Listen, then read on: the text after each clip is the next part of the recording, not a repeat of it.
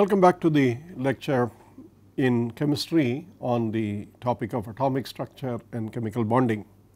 My name is Mangala Sundar. I am a professor of chemistry in the Department of Chemistry, Indian Institute of Technology, Madras, India. And my email coordinates are given here as mangal at iitm.ac.in and mangalasundark at gmail.com. We shall continue this lecture from the previous one with the linear vector spaces where we discussed vectors in 2 and 3 dimensions and now the same thing we will continue with uh, defining operators in 2 and 3 dimensions. For that let us recall the definition of the vectors using matrices column vectors namely x in 2 dimension as 1 0 and y in 2 dimension as 0 1. Now what we did so far was to take x dot x. The transpose was on the left side. And therefore you could see that it was a 2 by 1 matrix transpose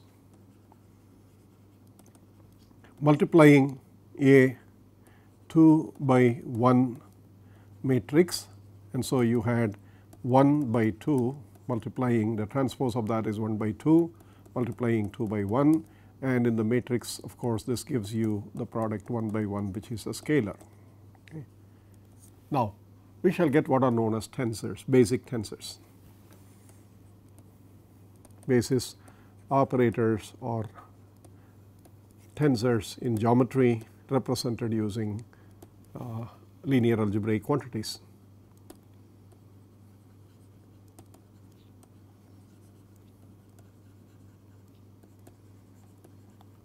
So, let us form x x t direct product. Okay. Now, x x t is the row multiply sorry is the column multiplied by the row. Now, please remember this is a 2 by 1 matrix and this is a 1 by 2 matrix. The product is a 2 by 2 matrix and if you do the simple matrix multiplication you can see that this gives you the 2 by 2 matrix 1 0 0 0 okay 2 by 2 matrix this gets cancelled off. So, you get 1 by 2 uh, sorry 1 by 2 gives you 2 by 2. So, this 1 gets cancelled off. So, you get a 2 by 2 matrix okay 2 by 2. This is known as a basis operator. Okay. Likewise, if you form y y t unit vectors y y t, you will see that this is 0 1 multiplying 0 1 which will give you 0 0 0 1. And interesting that if you add x x t to y y t, you get the unit matrix namely 1 0 0 0 plus 0 0 0 1 which is 1 0 0 1. This is the identity matrix.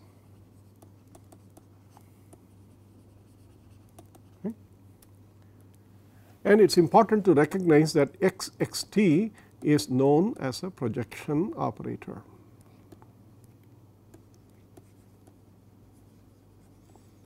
projection operator and likewise y y t is known as the projection operator okay. such that and they are both orthogonal because x x t multiplied by y y t you will see that 1 0 if you do 0 0 0 1 which is x x t y y t all these unit vectors if you do that you see you get 0 0 0 0 okay? Null matrix. Therefore they are orthogonal projectors. And they are such that the sum of the two projectors gives you identity. This is in mathematics in linear vector spaces this is generally known as an example of the resolution of the identity operator, spectral resolution of the identity operator.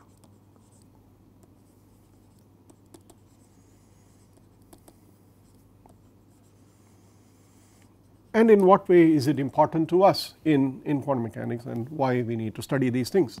We shall see it in a few minutes. Okay? Now I have a vector A which is in two dimension a1 x plus a2 y. I said a 1 is the projection of x t on A. Okay. You know this is in matrix notation this is A 1 A 2 and the projection this is 1 0 on A 1 A 2 and that will give you A 1. Okay. So, this is the projection operator this is the projection of the vector to give you the component of the vector. Now, if I represent a general 2 by 2 matrix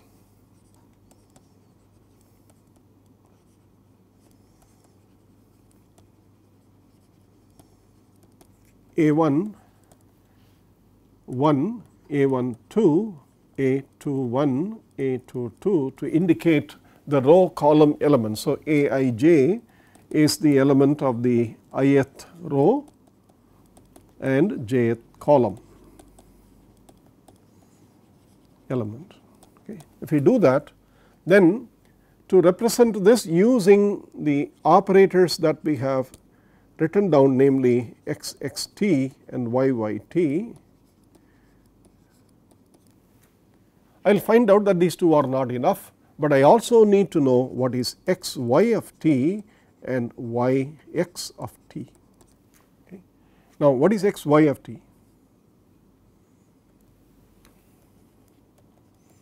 X y of t is the column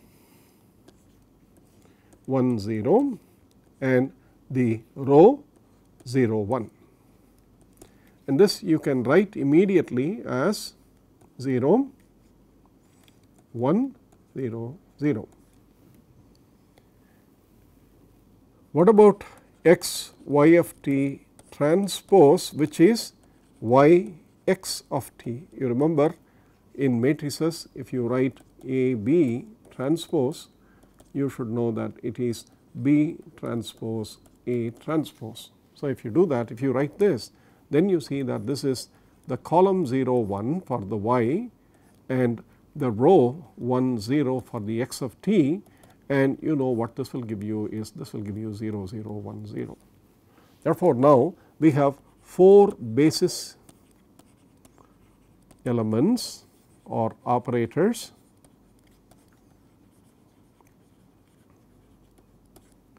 x x of t, x y of t, y x of t, y y of t. It is easy to remember that because you know this is nothing but the 4 quantities that are formed from x, x t, y, y t, okay, x and y. Now, these 4 elements are such that if you write a 1 1, a 1 2, a 2 1, a 2 2, you know in matrices using the elementary matrices this is nothing other than a 1 1 1 0 0 0 plus a 1 2 0 1 0 0 plus a 2 1 0 0 1 0 plus a 2 2 0 0 0 1. Okay. Now, you see immediately the, the representation of the operators coming into picture for us. So, now you can see that this is nothing other than a 1 1 x x of t plus a 1 2 x y of t plus a 2 1 y x of t plus a 2 2 y y of t. Okay. So, this is also known as the resolution of an operator in terms of basis operators exactly the same way that you had a vector written in terms of the basis vectors and the components of the basis vectors. You have now any 2 by 2 matrix which is which will represent an operator in the basis of x and y any 2 by 2 matrix is now resolved into the 4 component operators that you have the x x of t, y y of t and x y of t and x y x of t. This is a mathematical way of writing an operator in terms of the 4 basis operators. Quite obviously when you do this in 3 dimensions you know that a vector is represented in 3 dimension by a column with uh, 3 elements 3 rows. Therefore, you can see that if you have x, y and z in 3 dimensions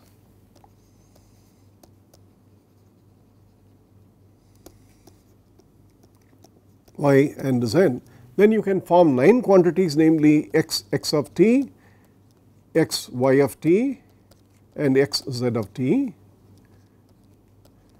And likewise with y x of t, y y of t and y z of t and the z x of t, z y of t and z z of t. Okay. So, you have 9 basis operators each of which is 3 dimensional in the sense it is a 3 by 3 matrix 9 basis operators. The same way that you had 3 basis vectors x, y and z for writing any arbitrary vector A in terms of the components. Now, you have any arbitrary operator in terms of the corresponding square dimension if it is 3 dimension it is 9 operator elements. If it is 3 2 dimension 4 operator elements that is what you have to remember. So, this is easy to write that down I will write a couple of them x x of t you know is uh, 1 0 0 multiplying 1 0 0 and that will be the 3 by 3 matrix given here. And now you can see that all the other things are similarly 3 by 3 matrices with 1 in only one place out of the 9 and the rest of it being 0. Okay.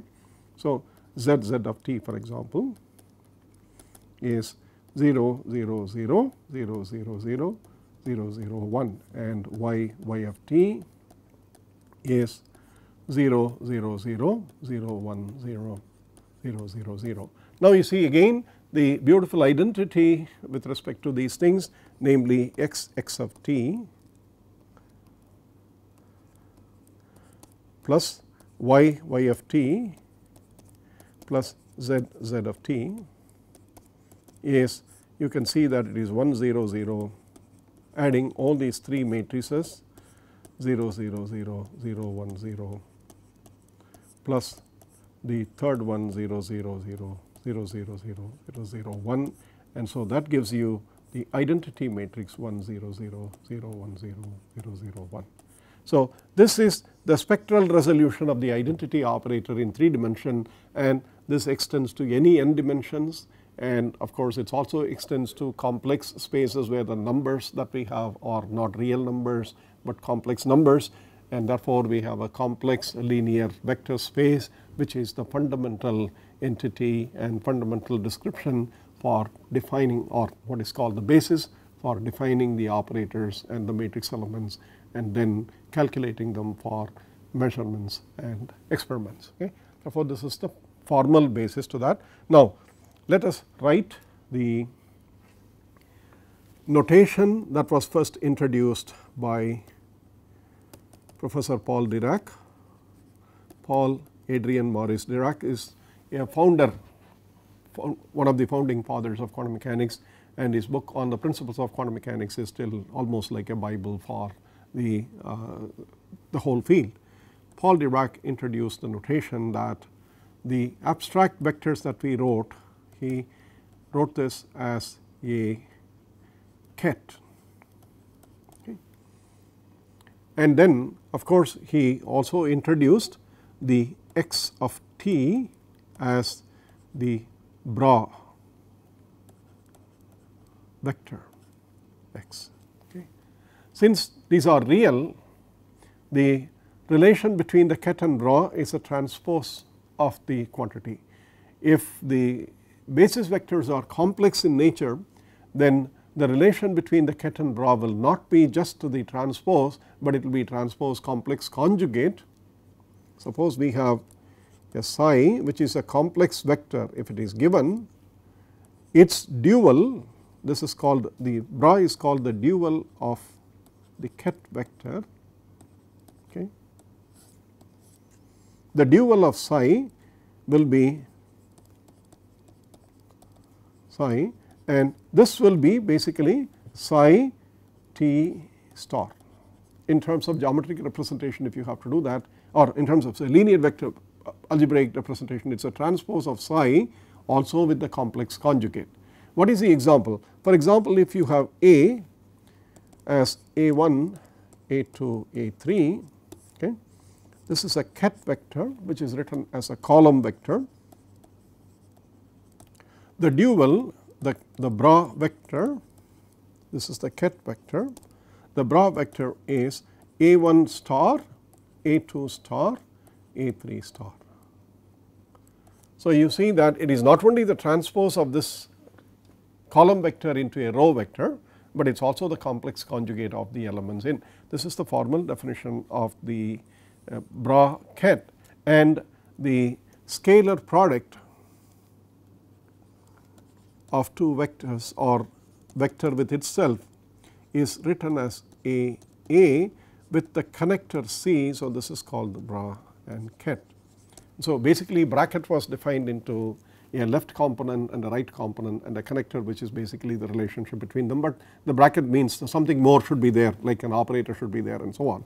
So, in this case of course, you can write the bra vector is A1 star A2 star in 2 dimensions multiplied by A1 a2 in 2 dimensions gives you A1 star A1 plus A2 star A2 and in 3 dimensions this will be this is 2D and in 3D this will be A1 star A2 star and A3 star multiplied by A1 A2 A3 giving you A1 star A1 plus A2 star A2 plus A3 star A3 Anyway, this is for introducing A to be a complex number. We will not concern ourselves with the complex numbers for some time. Therefore, if we write these, these things are usually transposes of each other, we can neglect the star because a real number its complex conjugate it's, it's, it is itself the imaginary part is 0. Therefore, A1 star is the same as A1 tells you that A1 is a real number. So, if we deal with real numbers we do not need to worry about the stars. Okay. Now, using this let us see x x t is now formally defined as x ket multiplied by the x bra because the x ket is of course 1 0 and the x bra is the transpose of this which gives you 1 0 0 0. Therefore, you have the relation x x plus y y into dimension is the identity operator in 2 dimension which is usually written as a matrix in 2 by 2 and that is 1 0 0 1 okay. This is the formal way of writing what we wrote a few minutes ago in terms of the adding the operators to give the identity operators and likewise in 3 dimensions the formal relation is x of x plus y times y plus z times z and so you have giving you identity 1 0 0 0 1 0 0 0 1 and so this is the identity in 3, three dimensions and the same thing extends to n dimensions if you have real n dimensional space and so on. Okay. Operators using the bracket notation and we will see what are known as the uh, matrix elements of the operators. We start with 2 dimensions. So, a general operator has a 2 dimensional matrix representation given by x x, x y, x z, sorry this is y x,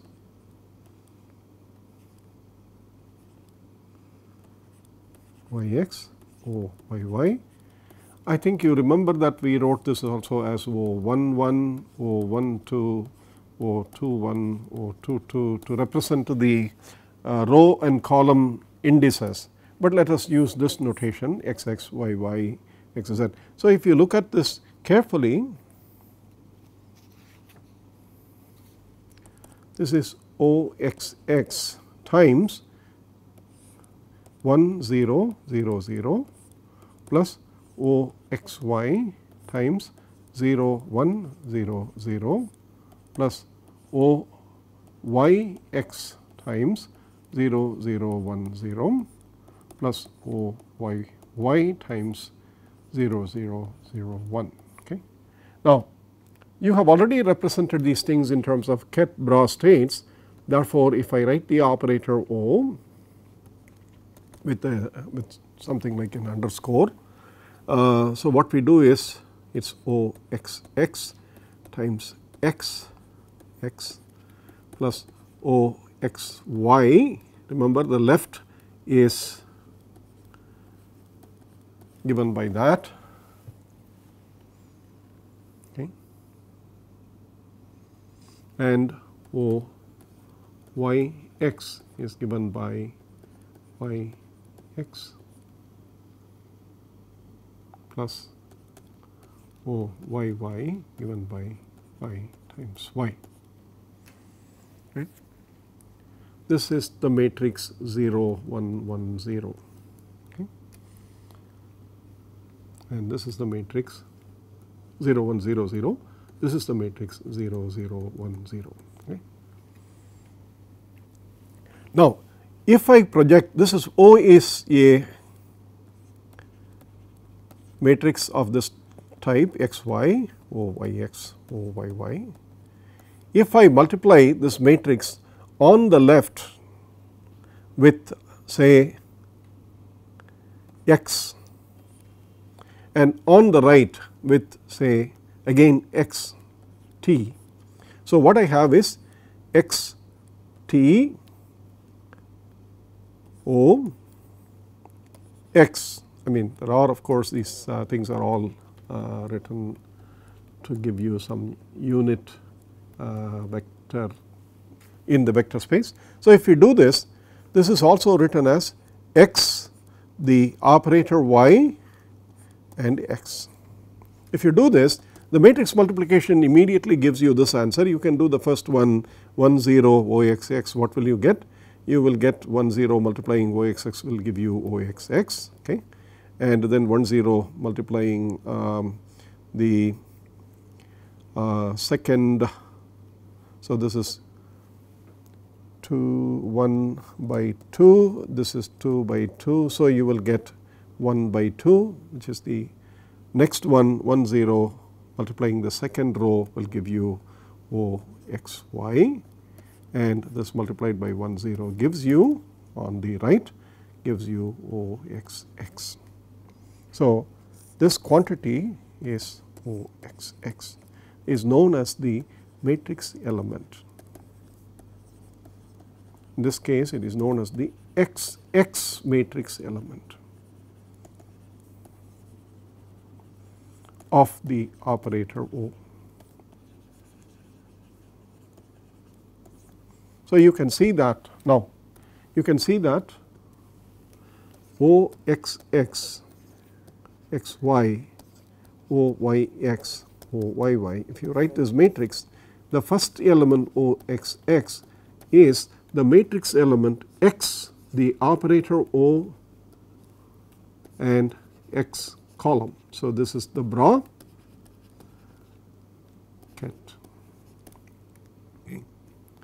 Likewise, you can write immediately O x y, it is easy for you to verify that this is x the operator O times the vector y and O y x a scalar. Please remember these are all numbers or scalars, but these, these are all also numbers or scalars. The entities inside here are vectors or operators such that a scalar product is obtained is obtained. Therefore, the matrix element is a scalar.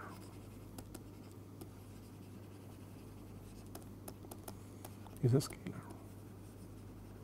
Okay. So, O y x if you have to continue it will be y O x and likewise O y y as a scalar if you continue it is y the operator O and the vector y. Okay.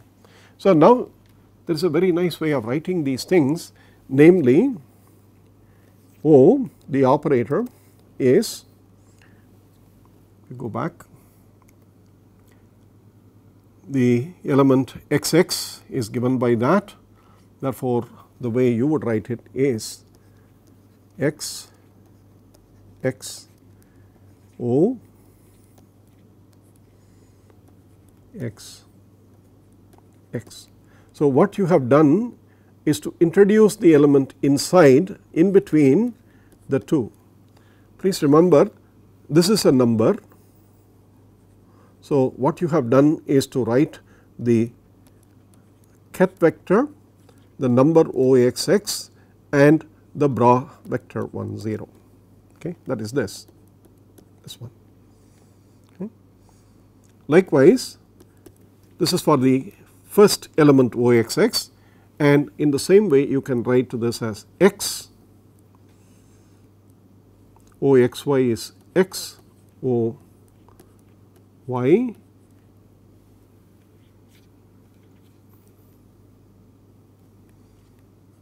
y. Okay? Can always keep these hats on to say that they are also vectors unit vectors and so on. Okay? So, this is nothing but 1 0 O x y and this is 0 1 okay. and the third one is O y x which will be y okay, y O x and you have x. So, this is 0 1 this is the matrix element O y x. This is y and this will be 1 0 and the last of course when you write this as y y O operator y y which gives you the quantity 0 1 O y y and 0 1. So, what is important is the four terms that now let us highlight that. Okay. The operator O is now written the operator O x x O x y O y x O y y is now written as a sum of four terms. This one is sum of the four terms that you have here. The second one is here and the third one is this and the fourth one is this. Therefore, if you have to do this for arbitrary number of dimensions a, b, c, d, e, f I mean these are all basis vectors, uh, you will see that an operator is therefore represented if in that dimension if it is n there are n basis vectors. The operator has an n by n matrix representation and each element of the operator is connected with the basis element indexed as 1 or 2 or 3 or 4 etc the same way that you have indexed this one OXX with uh, let us do that OXX if you do that it is indexed with O11 okay. So, what is your vector 1? Your vector 1 is x, your vector 2 is y. Therefore, these are the matrix elements representation that is an operator is now represented in terms of the basis uh, operators and the corresponding matrix elements. This is nothing other than O11 1 1 that is the basis vector 1 for this n dimensional problem. And likewise O12 is the basis vector basis operator O12 O13 is the basis operator 1 3 and so on. So, it is easier to write this as sum over i is equal to 1 to n, j is equal to 1 to n. This will be i, i, o, j, j. This is the general representation for the operator in quantum mechanics using linear vector spaces namely using the matrix representation and this is formal way of writing an operator.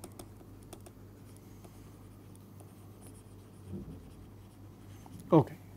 So, all of this gives you some handle on how to represent uh, vectors and matrices using uh, vectors and operators using matrices namely column vectors and row vectors uh, and then column matrices and column uh, row matrices and you have a general feel. Now, let us do the formal uh, mathematical statements of some of these linear vector spaces. Okay. Let us write down a few statements.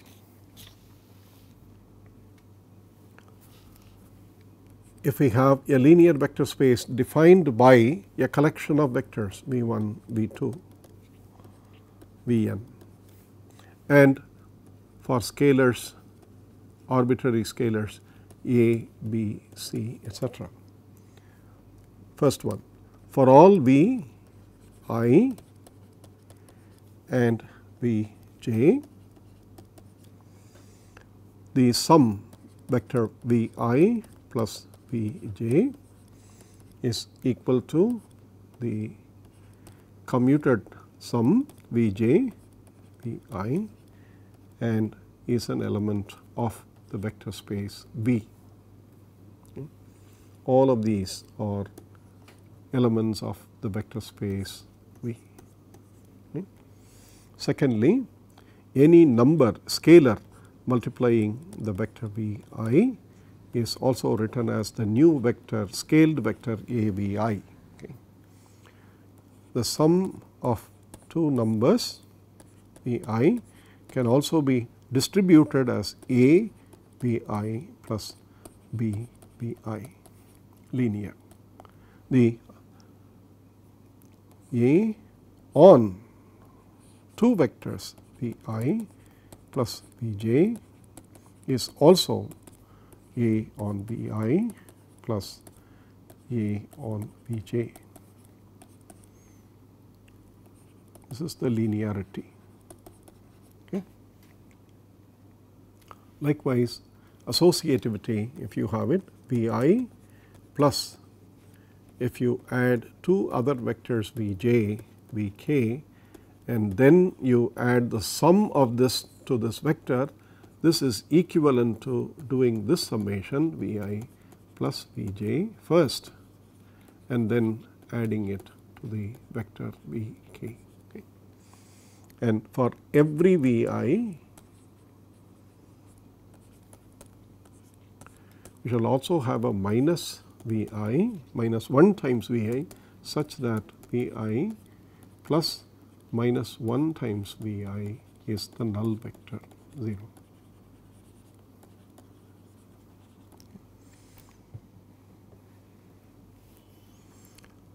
If the dimension is 3 for example if I write a 1 times x plus a 2 times y plus a 3 times z, if I require this to be 0 and x and y and z are orthogonal and linearly independent vectors, linearly independent vectors. The definition of linear independence is that this sum is 0 only for a 1 is equal to A 2 is equal to A 3 is equal to 0. Okay. That is it is not possible for me to form a linear combination of all the basis vectors using uh, any scalar such that the sum of that is equal to 0. That is not possible unless the scalars themselves are 0. The sum of this will always be some vector. Okay. Therefore, this tells you that any vector v for example can be represented in 3 dimensions by 1 to 3 A i times V i and we used for V i the V 1 as x and V 2 as y and V 3 as z earlier. Okay. But if it is in n dimension then the same thing holds good for the vector v in n dimension except that the sum is now over all the n dimensional linearly independent vectors with coefficients a i b i. Okay. This is the representation of any arbitrary vector in n dimension in terms of the basis vectors in n dimension okay. and these basis vectors are independent. Now what about the complex uh, conjugate or the ket vector v i. The dual it is called okay, the dual for v is written as v. Hmm. This is bra, this is sorry, this is ket and this is the bra, bra vector.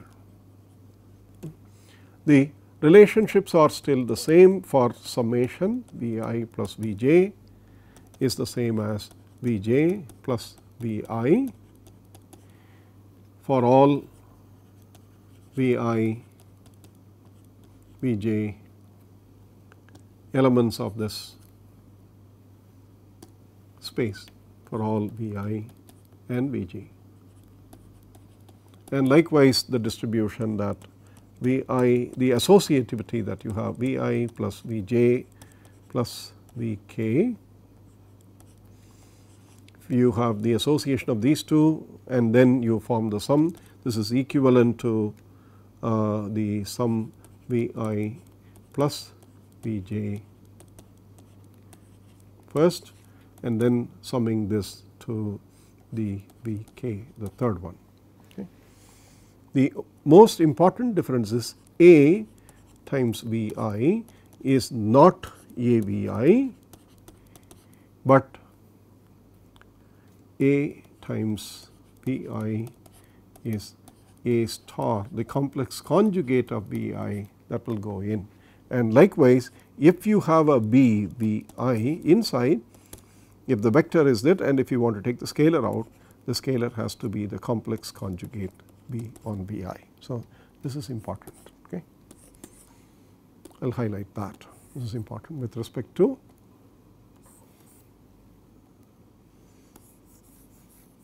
the properties of uh, the scalars with respect to the bra vector and the ket vector. So, therefore, you can see that if you write a quantity such as A v i if you write a quantity such as A V i and you write another B V j and this is the scalar product or the inner product then you know this is equal to A star V i V j times B which is A star times B V i V j. Okay. Therefore, if you have a vector psi uh, no if you have a vector v i v j you know that this is v j v i star okay. This is the relation between the scalar products with the vectors in the order i j ket the bra ket with respect to ket bra this one if you interchange the order the scalar product is the complex conjugate okay. And the last step that I would like to write is that if you have a vector v i forming a scalar product with a v j plus b v k. Then the scalar product is a times v i v j plus b times v i Vk and lastly if you have A B i plus B B j if this forms a scalar products with V k. Then this is given as A star B i V k plus B star B j V k. these things are important that there is a star associated with the bracket the bra vector. Any scalar associated with the bra vector if it has to be taken out of the bra vector then it is a complex conjugate that you have to worry about. So these are important we will use some of these things as we go along when we study the matrix representation until then thank you very much.